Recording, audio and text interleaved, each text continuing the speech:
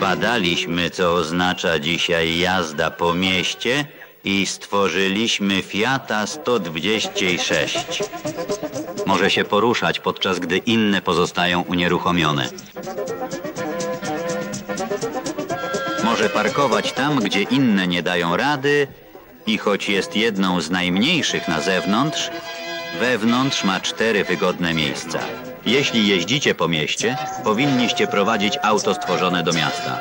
Fiat 126, auto miejskie.